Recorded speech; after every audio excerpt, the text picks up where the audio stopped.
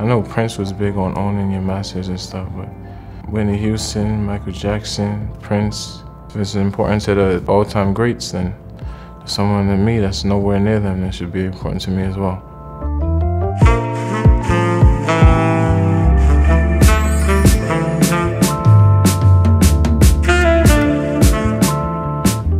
Hello, my name is Davishmar.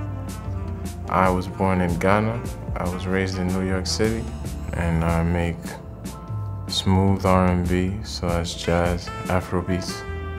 I was playing drums in the church growing up, so that was one of my influences. So I was focused on my boxing career, and my boxing coach was involved in an incident and he had to go away.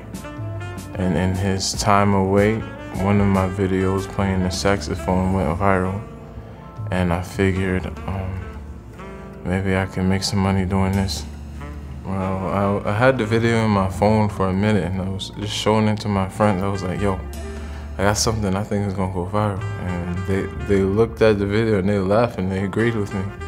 And then um, I put the video up and then people started coming to my page and like TikTok picked that up on the algorithm and then it just blew my video up.